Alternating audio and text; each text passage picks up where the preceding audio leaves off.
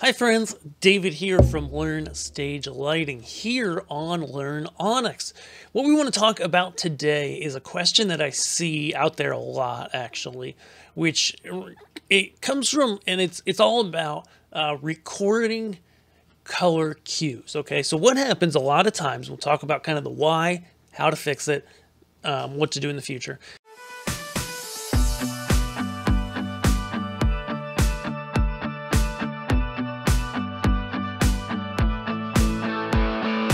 You start off a show and you have a first cue with an LED fixture. So in this case, I'm just using the Fuze Wash Z350s that are in the demo file. Um, and at the default, the colors are on at full. So if I take it and I take it and make it white, and then I just go and grab a color, right? I'm just going to pull out the color picker for quickness. Um, no, you know what? I'm being bad. I should use the palettes, right? So I go and I create the color picker and I, I give it a color, right? I go ahead, I record this into a brand new cue. And then we then we go ahead and we pull the fader, we play it back. What happens? Right? The intensity fades up and the color goes from like a pastel, you know, from white through a pastel to the color you wanted.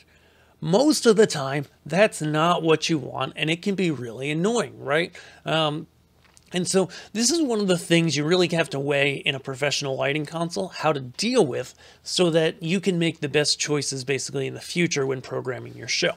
Okay, so there's a couple ways you can kind of circumvent this, a couple ways you can make things work that have differing levels of, it, it just kind of depends on what you're doing, basically, is what I'm trying to say. Um, so what's going on basically is, as I mentioned, these lights by default, LEDs in Onyx, have the intensity set to zero, that's at the default position, and the color set to full. And the reason why they're this way at the default values is so that you can grab the light, send it to full, which modifies only the intensity, and you get output on a color mixing LED fixture. This is generally a positive thing.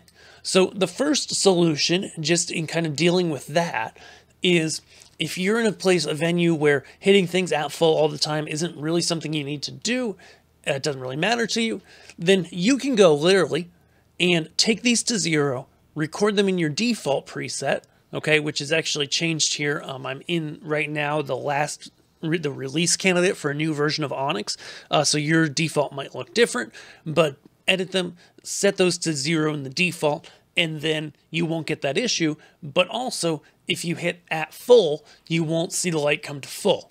Now you could also store the intensity to 100% in the default um, and the color to zero so that you will only have to turn on color. Um, that's just part of working with RGB fixtures with co additive color mixing LEDs because ultimately each color channel is a channel for the intensity of that color, right? Unlike older fixtures or um, or just white source fixtures where you have CMY color mixing where that color is just adding color, but it doesn't really, it doesn't actually affect the intensity kind of in the same way. It's, it's a little bit different, right? We, we got different technologies there. Um, so that's one way to fix it. Another way to fix it is to use the fade option or the delay option in Onyx. Okay, um, so you could literally go and take them to full.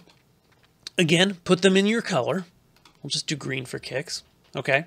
Um, and then go ahead and hit fade, then hit color right here. Okay. Now it says set fade color at zero. Okay.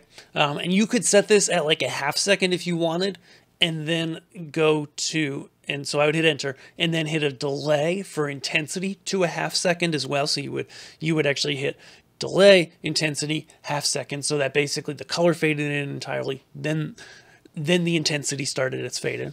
Um, but even that just doing it at zero recording that now gives us this result where we can play back that cue and it fades in perfectly. But there is kind of a problem in this approach. Again it really kind of depends on your show. And that is if I was in this cue list where it was red right and then I went to this cue list that's green and also intensity, you see it snaps, right? And you probably wanted it to fade. So ultimately, it really can come down to a lot of the times in how you run your show.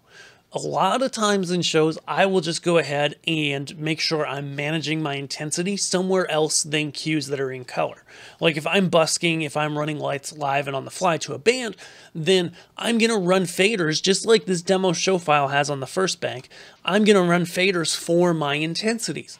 And that way, there's never an issue where um, you're bringing up intensity and color in the same cue. You'd only be fading color in a cue. Okay.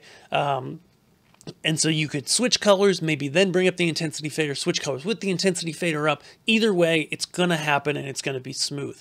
Um, but if you're in a more theatrical, kind of cue listed environment, then you may just need to go ahead and you could also create a cue first that has them in the color of, of no color of black and then automatically have it follow to the first cue. So there's a lot of ways to handle this. The biggest thing is really just to understand where it's coming from because I think that's what confuses a lot of people at first is that, hey, this is a way to deal with newer technologies that also have to coexist in a console that controls older technologies and kind of the best ways to mesh them together. Um, so if you like this, give it a big thumbs up, subscribe here because we always have more Onyx tips and we would love to help you. And if you need Onyx gear, or if you don't, um, head over to LearnStageLightingGear.com, add some Onyx gear or lights to your cart.